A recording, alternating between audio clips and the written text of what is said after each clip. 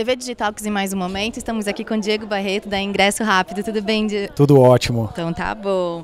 Diego, explica um pouquinho pra gente. É... Reputação online. É... Como gerenciar isso em momentos de crise? Explica um pouquinho. É, essa é uma temática nova, né? o, o, o deslocamento dos negócios do mundo offline para o mundo online é algo ainda muito novo, está todo mundo aprendendo com isso ainda, mas é inegável que uh, o tempo é, é, é, que, que, os negócios de alguma forma já se deslocaram para online e as experiências que aconteceram não só no Brasil, mas no mundo como um todo, já demonstraram um pouco uh, o framework correto para que você possa reagir a isso.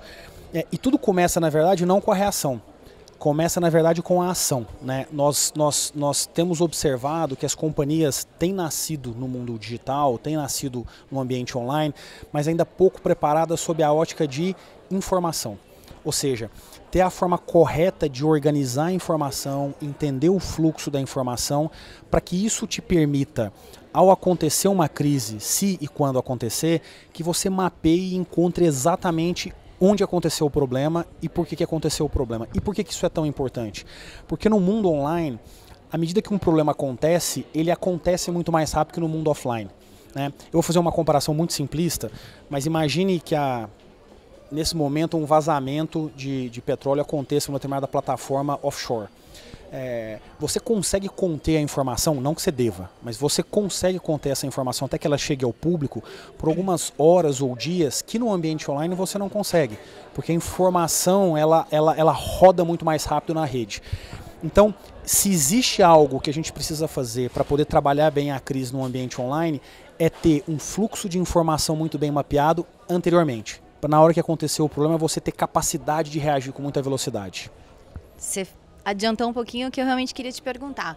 É, para uma empresa poder se preparar para isso, para a gente não ter um problema de última hora a ser resolvido, quais são os caminhos e etapas que você considera importante ela ter planejado para para conseguir aí desenvolver um belo trabalho em questão dessa, desse processo de reputação? É, sem querer ser muito operacional, mas tentando deixar ainda num, num, num campo mais estratégico, eu diria que os dois caminhos são é, comunicação interna, leia-se cultura, e o outro é perfil dos profissionais. Em última instância, leia-se cultura. O que eu quero dizer com isso?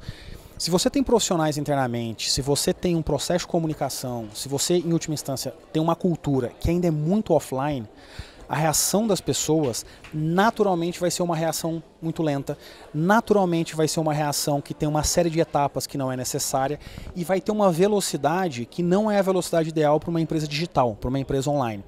Então, independente do, do, do fluxograma ou do, do, plano tático que é montado por alguma empresa, o mais importante é você contar com pessoas e com um processo de comunicação, tudo isso de novo, cultura, que permita você conseguir se programar e ou reagir da forma adequada.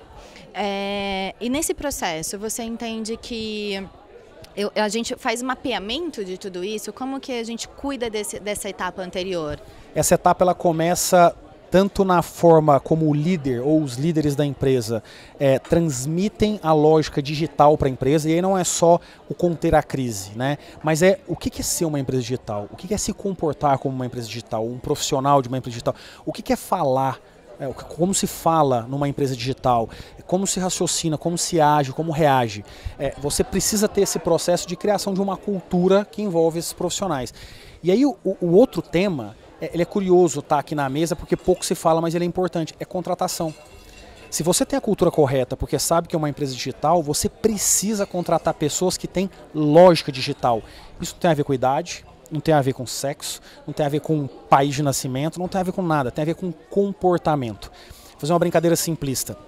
É, uma pessoa hoje que é completamente ligada no WhatsApp, que entende como funciona o WhatsApp, que entende a integração do WhatsApp com outras plataformas, na vida pessoal, essa pessoa na empresa tem muito mais capacidade de reagir e de gerir uma crise do que uma pessoa que é avessa a isso, ou que não entende o WhatsApp exceto para poder digitar uma mensagem e receber uma mensagem.